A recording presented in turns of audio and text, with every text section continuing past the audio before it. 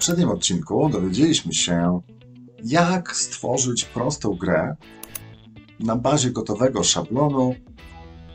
Użyliśmy szablonu Western i nauczyliśmy się, jak zapisać ją na swoim komputerze.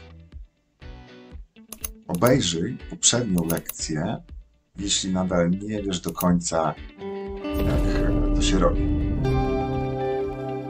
A teraz dowiemy się, jak zapisać ją w Robloxie, tak aby inne osoby, takie jak Twoi przyjaciele lub rodzina, mogli do Ciebie dołączyć.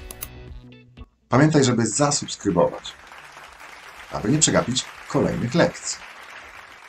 Ok, teraz otwórz swoją grę w studio i kliknij przycisk File. Spójrzmy, co my tu mamy. Save to File zapiszę grę na Twoim komputerze i nikt inny nie będzie mógł w nią grać. Save to Roblox zapiszę Twoją grę na serwerze Robloxa, ale nadal tylko Ty możesz ją otworzyć. Aby opublikować, musimy kliknąć Publish to Roblox i pokazuje się to okno. Basic Info, wpisz nazwę, tytuł gry, a poniżej jej krótki opis, a następnie kliknij Create. Kliknij Close. Przejdźmy teraz do roblox.com i kliknij na ten link y, Create. To jest lista Twoich gier. Gra może być private lub public. Private oznacza, że nie chcesz jeszcze pokazywać jej światu.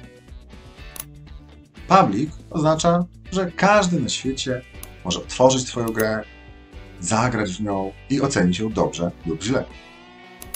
Ustawmy grę na public. Kliknij na szary kąpie Private, a następnie zaznacz opcję Public i kliknij Save. Zobaczmy w dziale Create. Tak, widzisz, teraz jest zielony.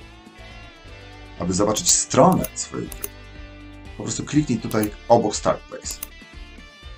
To jest strona gry. Z przyciskiem Play i kciukiem w górę, w dół. Ostatnia rzecz, otwórz to menu i kliknij Add to Profile. A gra będzie widoczna na Twojej stronie profilu Roblox. Jak widać, jest e, tutaj w zakładce Creations. Powtórzmy. Tworzymy nową grę. Korzystając z szablonu. Tym razem użyjemy szablonu Castle. Po załadowaniu gry w studio możemy wprowadzić zmiany. Teraz przechodzimy do menu File i klikamy przycisk Publish to Roblox. Piszemy nazwę naszej gry, opis, klikamy przycisk Create i zamykamy. Wejdźmy na stronę roblox.com, kliknij Create, kliknij na link Private, wybierz opcję Public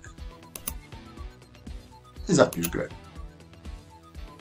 Teraz na stronie gry otwórz menu z trzema kropkami i kliknij Add to Profile. I to wszystko.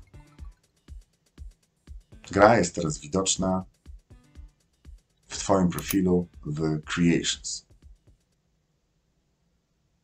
Jeśli podobało się, łapka w górę i widzimy się w następnym odcinku.